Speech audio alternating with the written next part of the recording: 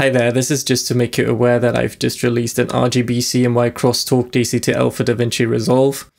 And in case you're not familiar with the concept, this is essentially like your RGB mixer where, for example, you want to add some of the green channel to the red channel, and then you obviously get this tint to the image and your neutrals get messed up, which means that you have to lower your red channel to compensate, and now you get that hue rotation from the channel mixer without changing your neutrals.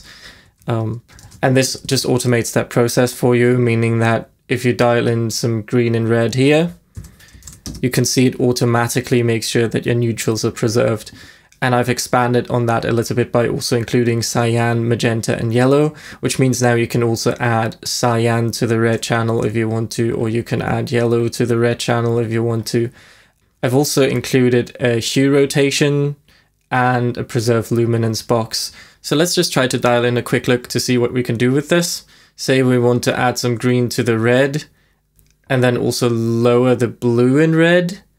And then we get this really nice golden warm look. But as you can see, it kind of shifts your luminance values around a little bit. Your reds get darker, the yellows get darker as well. And so we can just check that preserve luminance box so that our luminance values stay the same and it's just a hue rotation. And there we go. This is what you can do with this. Or you can obviously also do something a little bit more wild like this.